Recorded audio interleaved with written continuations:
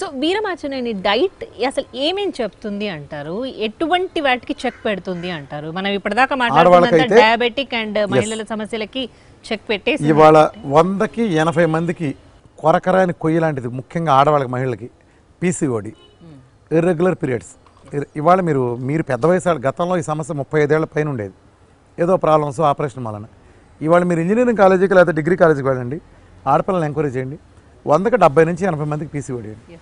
మాకు మూడు నెలలైన పీరియడ్స్ రావు నాలుగు నెలల పీరియడ్స్ రావు. ఎలా వస్తాయండి? మీరు తినే తిండి ఏంటి? చెత్త. ఇవాళ ఎందుకంత కర్మ వచ్చింది? పెళ్ళి అవుతుంది. సంతాన సాఫల్యం కేంద్రం చుట్టూ తిరగకుండా ఎంతమంది పిల్లలు డైరెక్ట్ అంటున్నారు చెప్పండి? అవకాశం లేకుండా పోతుంది. కారణం ఏంటంటే హార్మోనల్ ఇంబ్యాలెన్స్ జరిగినాయండి.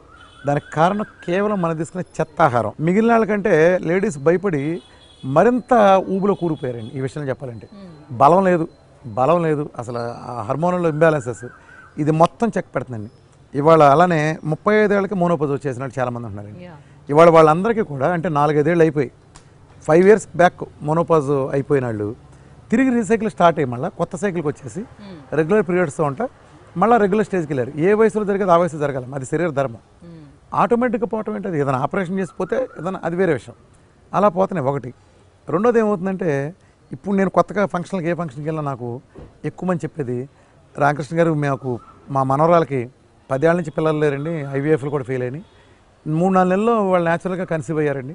ఇప్పుడు ఎక్కడికి వెళ్ళినా అసలు నేను రాత్రి ఫంక్షన్కి వెళ్తే అక్కడ చెప్తున్నారు ఎక్కడికి వెళ్ళిన ఇదండి ఇప్పుడు ఇదొకటి అంటే అదొక ఇదైపోయింది. వద్దరో కనుక ప్రోగ్రామ్ చేస్తే వన్ ఆర్ టూ మంత్స్ ఎందుకంటే హార్మోన్స్ బ్యాలెన్స్ ఇంబ్యాలెన్సెస్ ఎప్పుడైతే బ్యా బ్యాలెన్స్ అయిపోయినాయో సెట్ అయిపోయినాయో ఆటోమేటిక్గా లేడీస్ చాలా మంచి జరుగుతుంది. ముఖ్యంగా బలం వస్తుందండి మీకు ఆడవాళ్ళకి ఇన్నాళ్ళ నుంచి తెలియదు ఏంటంటే శక్తి.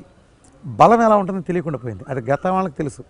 వాళ్ళు అలికేవాళ్ళు ముగ్గులు వేసేవాళ్ళు ఇంతంత అంటులు తోమేవాళ్ళు ఊదేవాళ్ళు వాళ్ళు చేసే పని నుంచే ఫిజికల్ ఎక్సర్సైజ్ ఒక కట్లు పోయే దగ్గర పొగ చోరుతుంటే ఫు ఫు అని ఊతే మీరు యోగా గంట యోగా చేసినంత సమానం అండి.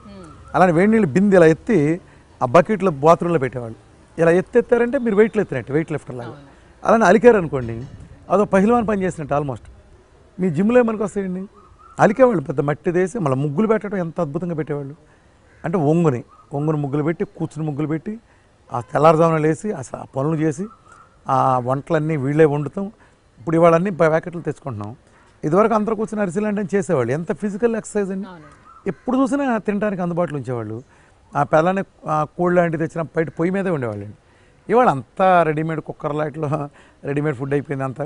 న్యాచురల్గా పని శ్రమ తగ్గింది కదా. ఆహారం నాశనమైంది శ్రమ తగ్గిపోయింది. అలా అయిందండి. ఇది ఆడవాళ్ళకి బాగా వరం అండి. ముందు బలం అండి. బాగా శక్తి వస్తుంది అన్నిటికంటే ముఖ్యం ఏంటంటే మీకు బరువు తగ్గడం అనేది ఒక పెద్ద సమస్య. ఎన్నాళ్ళు బ్రహ్మ పదార్థం. బ్రహ్మ పదార్థం. ఇది ఇవాళ ఇంతే.